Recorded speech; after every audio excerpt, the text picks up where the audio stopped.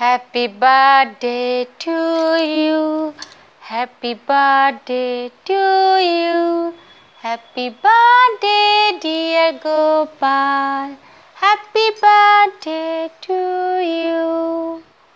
নমস্কার আমি বর্ণালী বর্ণালীর সংসারে আপনাদের সবাইকে স্বাগত আজকে জন্মাষ্টমী ওই জন্য তাড়াতাড়ি স্নান টান সেরে চলে এসেছি আপনাদের সামনে আজকে নতুন একটা ভিডিও নিয়ে আজকে দেখাবো আমার ঠাকুরকে কীভাবে পরিষ্কার করি, ঠাকুরের গয়না পরিষ্কার করি এবং ঠাকুরকে স্নান করিয়ে সাজাই।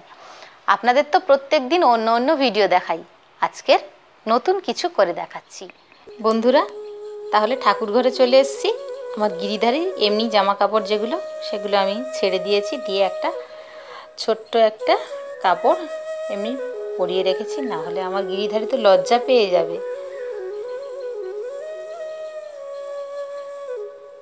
এবার ঠাকুর তো, অন্য কিছু তো নয়।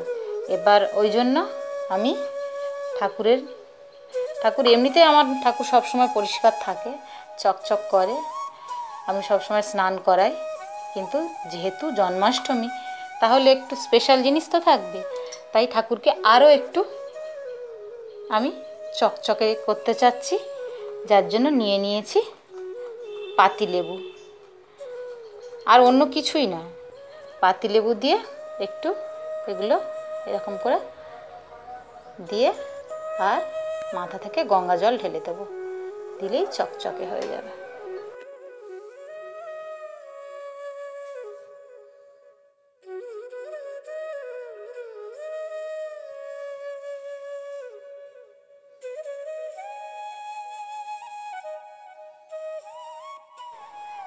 তাহলে এরকম আলতু করে ঘষে নিয়েছি।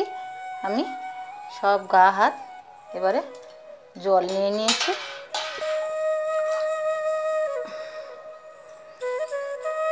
আস্তে আস্তে করে স্নান করিয়ে দেব।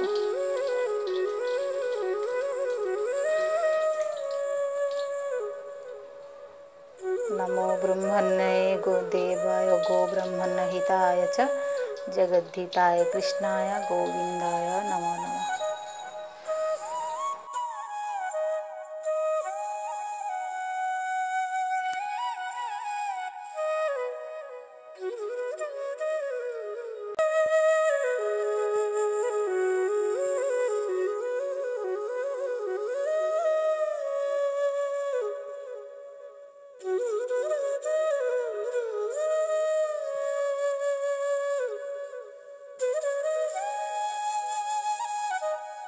ব্যাস, স্নান হয়ে গেছে। এবারে একটা কাপড় দিয়ে, রুমাল দিয়ে আমি মুছে দেব। আস্তে আস্তে। আলতু করে।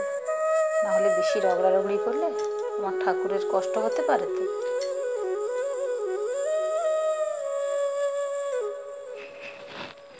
একইভাবে আমার রাধারানীকেও স্নান করিয়ে ড্রেসও পরিয়ে দিয়েছি। নতুন ড্রেস এবারে অর্নামেন্টসগুলো একে একে পরে পরিয়ে দেবো। রাধারানীকে স্নান করিয়ে নিই এবার রাধারানী স্নান করার পালা। রাধারানীকেও আমি একইভাবে আগে চরণ দুটো পরিষ্কার করে নেব।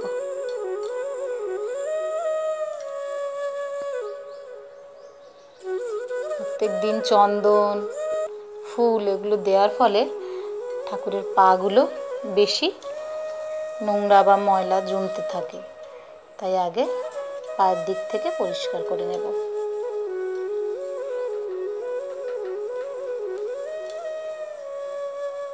ফেস ক্লিন করে দিলাম।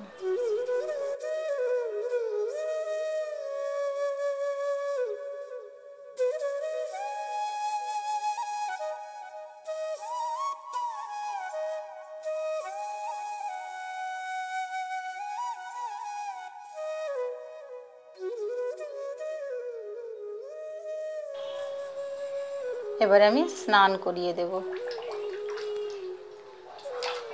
আমার ঠাকুর সবসময় স্নান করানো হয় পরিষ্কার থাকে, তাই অল্প লেবু দিয়ে ঘষলে চকচক করল।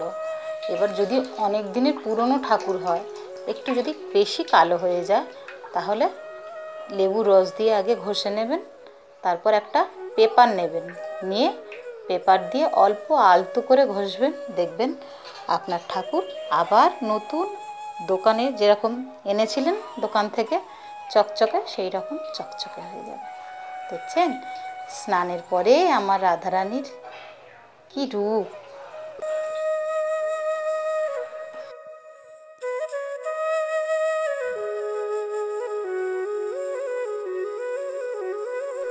শুকনো কাপড় দিয়ে মুছে নেব।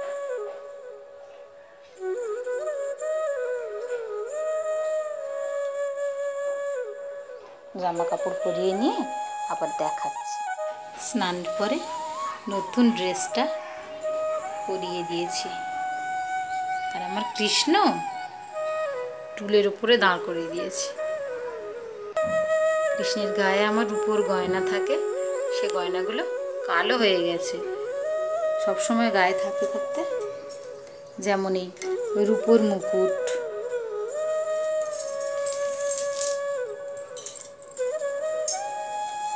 তারপরে রূপোর তক্তি, এগুলো।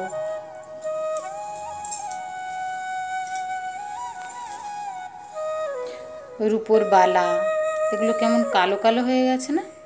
আপনাদের আজকে দেখাবো যে পলিশ দোকানে না নিয়ে গিয়েও আমার এইসব ঠাকুরের যে অর্নামেন্টসগুলো আছে, যেমন এটা কৃষ্ণের কেমন একটা কালো হয়ে গেছেন এটা আবার নতুনের মতো চকচকে আমি বানাবো। আমার গোপাল সোনাও এবার স্নান করবে।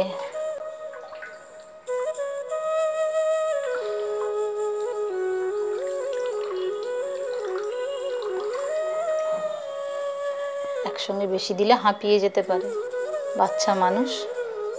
ওই জন্য অল্প অল্প করে দেব।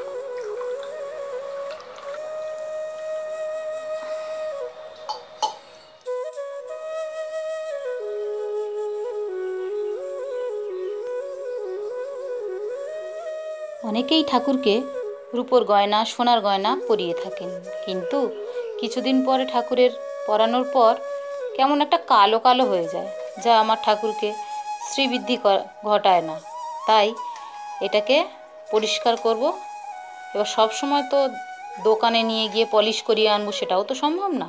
তাই বাড়িতে কীভাবে পরিষ্কার করি? যে কোনো একটা টুথপেস্ট নিয়ে নেবেন, একটা ব্রাশে করে। নিয়ে এরকম করে লাগিয়ে কিছুক্ষণ রেখে দেবেন। দিয়ে একটু ব্রাশ দিয়ে ঘষবেন, দেখবেন একদম চকচকে হয়ে যাবে। এগুলো আমি লাগিয়ে রাখলাম। কিছুক্ষণ পর আপনাদের দেখাচ্ছি কতটা চকচকে হয়েছে। এই দেখুন বন্ধুরা, বাজু বন্ধগুলো কি সুন্দর চকচক করছে।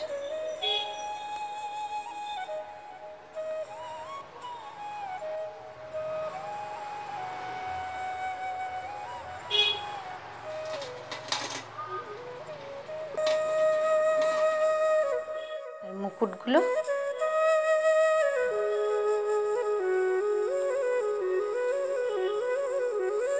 একদম নতুনের মতো হয়ে গেছে।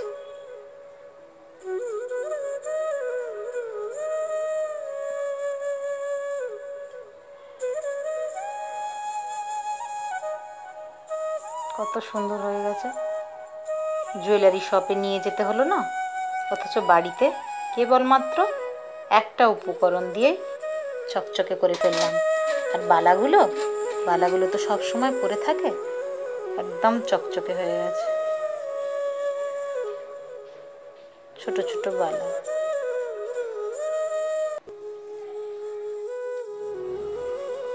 ঠাকুরের নারায়ণের গদা, চক্র আর আমার কৃষ্ণের বাঁশি সব চকচকে হয়ে গেছে।